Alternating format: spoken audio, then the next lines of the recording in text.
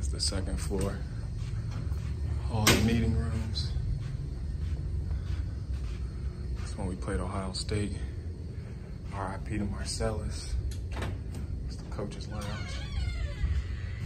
Defensive players room. So you got the leather seats right here. Big time.